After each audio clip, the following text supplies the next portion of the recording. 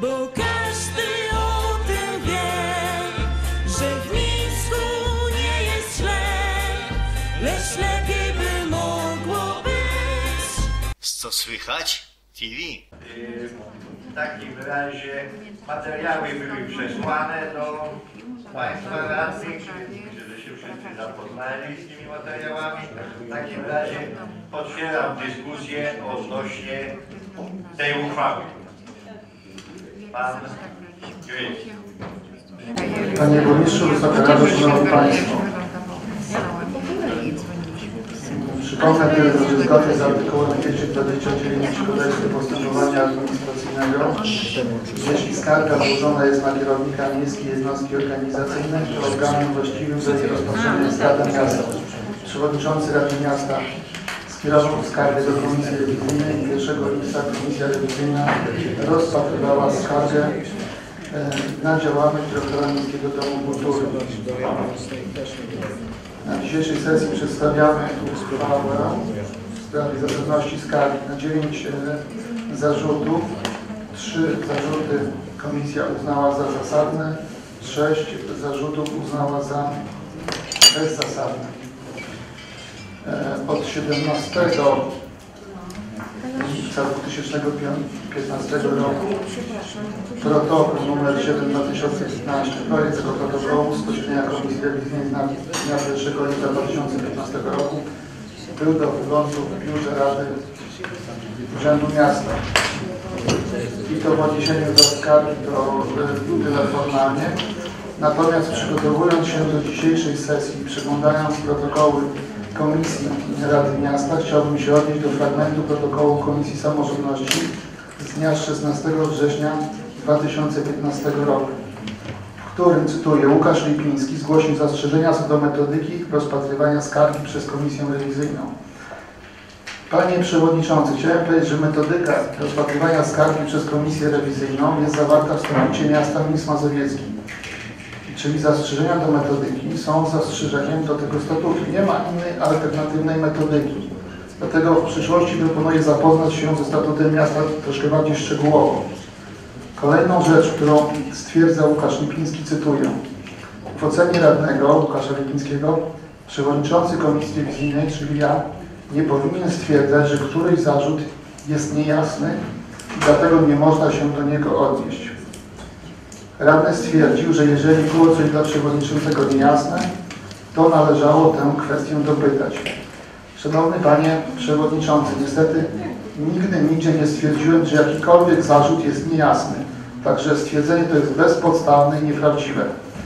W związku z powyższym zwracam się do Przewodniczącego Komisji Samorządności, aby zamieścił moje sprostowanie jako załącznik do protokołu z Komisji Samorządności dnia 16 września.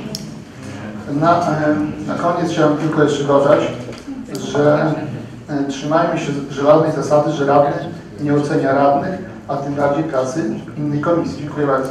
Przewodniczący, zgadzam się częściowo, że ma Pan rację, częściowo niestety nie. Uważam, że jeżeli coś dla Pana było niezasadne, a Pani koleżanka radna niektóre takie uwagi swoje miała, to tutaj jest również w Pana projekcie, że niektóre rzeczy nie był Pan w stanie zrozumieć albo nie był Pan pewien, co one oznaczają, uznaje za niezasadne, można się było spytać. I to taka była moja luźna uwaga na mojej komisji, bo uważam, że tak można było postąpić. Oczywiście, biorąc pod uwagę przepisy, nie musiał Pan. Czy Pan mógł? Tak, mógł Pan. I taka była moja uwaga, że to zostało akurat zapisane w naszym to projekcie, naszej komisji. Niestety, tak, nie dosyć miało miejsce. Dziękuję. Czy Pan Jerzy Gryz?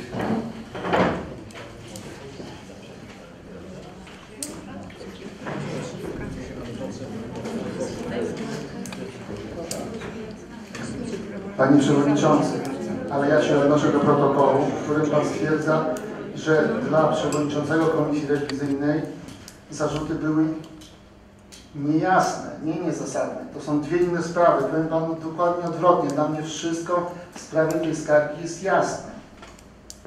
A jeżeli chodzi o zasadność, to Pan nie mówił o niezasadności. Niech Pan teraz nie zmienia tutaj swoich słów. Dziękuję bardzo.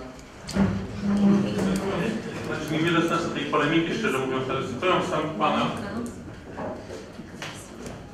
A do punktu siódmego, jeżeli dobrze tutaj rozumiem, jest napisane, uznajecie za bezzasadne, ponieważ zostaną zredagowane zbyt ogólnie. Nie można przyjąć, co skarżąca miała na myśli, formułując ten zarzut. Nie mam tutaj więcej wątpliwości. Y, Proszę Państwa, ja myślę, że... Proszę bardzo.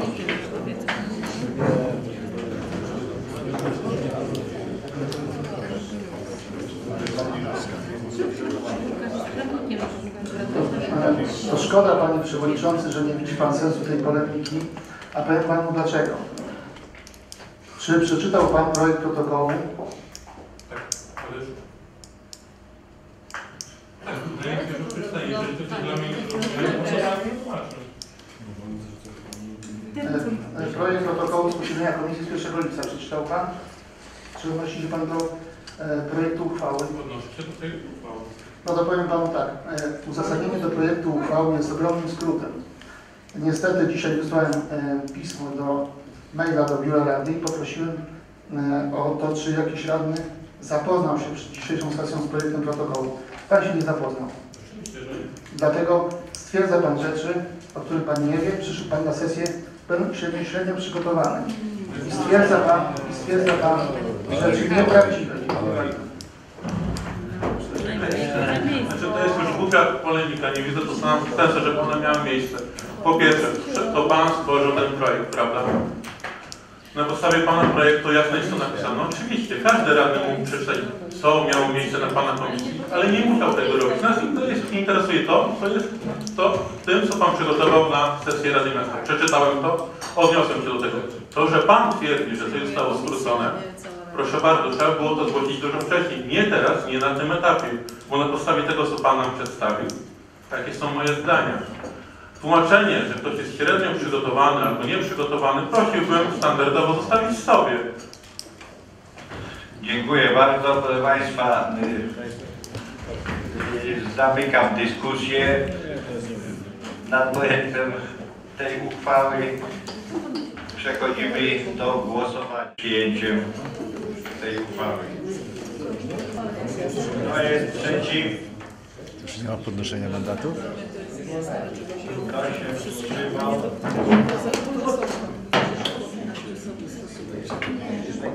Czy osoby udzielają głosowania?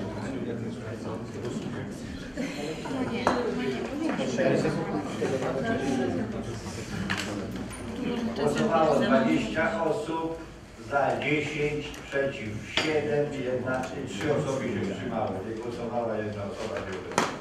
Bo każdy o tym wie, że w Mińsku nie jest źle, lecz lepiej by mogło być. Co słychać? TV.